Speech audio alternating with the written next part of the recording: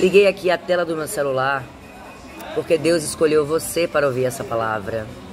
Deus escolheu você para ouvir esta mensagem. Deus manda eu te dizer que se prepara para a grande virada que Ele vai fazer acontecer na tua história, na tua vida. Se prepara para o sobrenatural. Deus ele está trazendo uma virada tão grande para a tua história, para tua vida, que você vai viver como quem sonha. Tentaram impedir, tentaram atrapalhar, tentaram lutar contra, lutaram contra, até quase tentaram te destruir. Na verdade, quase conseguiram, melhor dizendo, te destruir.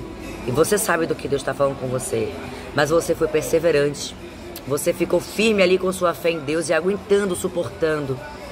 E Deus manda te dizer que para cada dia de luta, que para cada dia de dor, de sofrimento, Ele está trazendo bênçãos recalcadas, chuvas seródias sobre a tua vida. Se você crê, digite eu creio, pastor, e eu tomo posse no nome de Jesus. Receba esta palavra, porque é profético, é só para quem crê.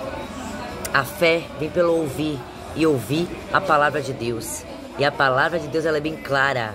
Antes de Jesus voltar, ele vai nos prosperar e nos fazer comer do bom e do melhor desta terra, porque ele é o dono do ouro e da prata. Tem surpresa, tem milagre, tem providência, tem renovo chegando para todas as áreas da tua vida.